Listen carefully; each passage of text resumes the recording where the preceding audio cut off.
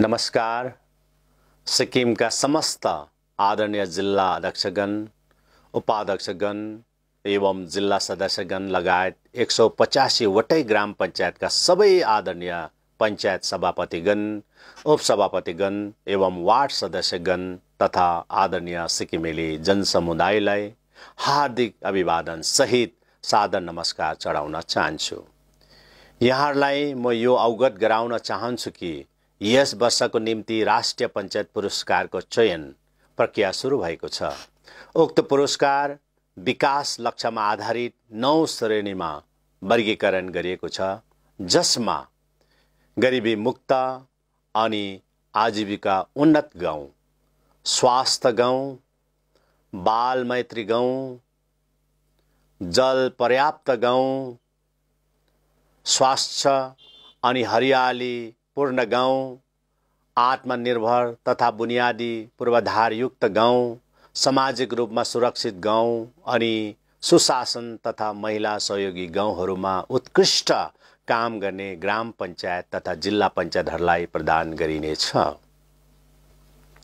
आवेदन ग्राम पञ्चायत तथा जिल्ला पञ्चायतहरूद्वारा गरिनुपर्नेछ।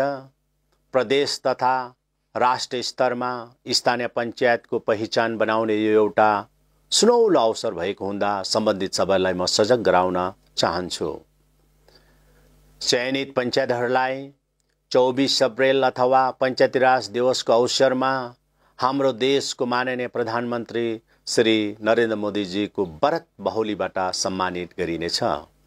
यसमा आफ्नो पञ्चायतको सहभागिता सुनिश्चित गर्न तपाईँहरू सबैलाई हार्दिक आह्वान गर्न चाहन्छु। उक्त अवसरमा यी नौ श्रेणीका अतिरिक्त पाँचवटा विशेष पुरस्कार पनि प्रदान गरिनेछ। म यो पनि अवगत गराउन चाहन्छु कि यस सन्दर्भमा पञ्चायती राज मन्त्रालय भारत सरकारद्वारा जारी दिशानिर्देशन चाँडै नै तपाईँहरू समक्ष आइपुग्नेछ।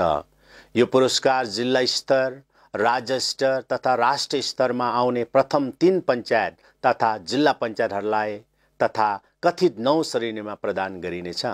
पुरस्कारका लागि चयनित पञ्चायती राज संस्थाहरूलाई यथोचित धनराशि पनि वितरित गरिने प्रावधान छ।